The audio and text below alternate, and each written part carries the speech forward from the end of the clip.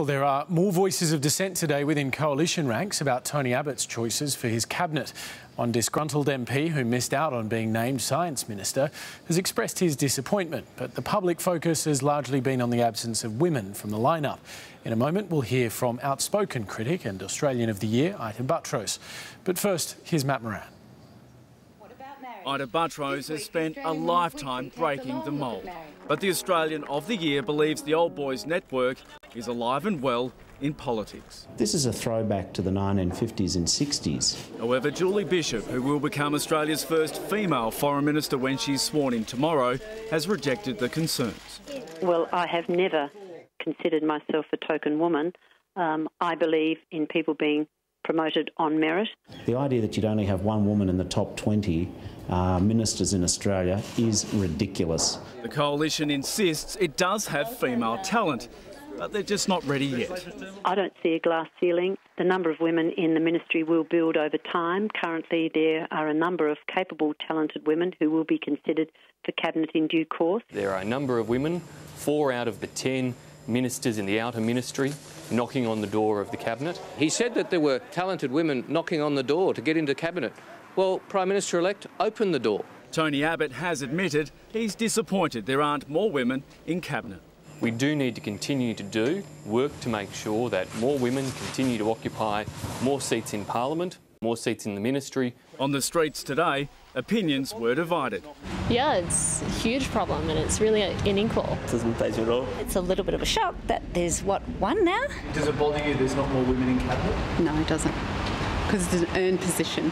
I think it's good to have a balance of the male and female. I was a bit disappointed that there's only one female person in um, under Abbott. I think that uh, we need some gender, gender equality at at the cabinet level. While Tony Abbott deals with the fallout of not promoting more females into cabinet, another battle has broken out in his ranks. If sports can get a gig as a cabinet position, uh, signs should. It's got to go back to 1931 to find uh, any government in Australia where there wasn't a specific minister for science. Dr Jensen, who's unhappy he wasn't made science minister, also attacked Mr Abbott's paid parental leave scheme, saying it hasn't been properly thought through.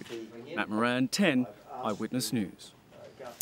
Well, the trailblazing Aussie icon Ita Buttrose has taken aim at Tony Abbott, saying she hopes his daughters gave him a stern talking to over the lack of women in cabinet. The Australian of the Year spoke to 10's Ali Donaldson. Buttrose, thank you for joining us. What was your first reaction when you saw Tony Abbott's cabinet? Are there enough women there? No, I think it's very disappointing. It's the 21st century, and I think women's voice is entitled to be heard. And if it's not there in the upper echelon of decision making in the cabinet, I don't think women's voice is heard effectively enough. I'm not saying men men can't talk about our needs, but they don't talk in our voice. And, and, and it's, it's the synergy of men and women working together that I think gives you better results. And you can only think of two things when you look at the makeup of the cabinet, that perhaps there are not women who are talented enough to be in the cabinet, and if that is the case, why not? But then that's insulting to the women who are in the Liberal government. And the other thing that crosses my mind is that the Old Boys Network is alive and well, and it does not want to make room for women. It's unacceptable. So it appears the glass ceiling is very much intact. Is that disappointing? It's extremely disappointing, but it reflects, look, it reflects the corporate boardroom, for example, the corporate boardroom. Uh, of the top 200 ASX companies, women make up only 15% of directors. We're supposed to be enormously grateful for having this figure because it's the highest we've ever got. And again and again, you think, well, why is that so? You can't be running a company efficiently and well if you don't have the input of women in the top decision-making areas. And, and the glass ceiling is still very much in existence. We don't talk about it much, but it's still there. And that is evident in the makeup of the Cabinet. If you could deliver a personal message to Tony Abbott, what would that be? I'm not in the habit of sending messages to Prime Ministers, but I, I hope his daughters give him a good talking to, and I hope he appreciates the talent that women have and soon gets some more into the Cabinet.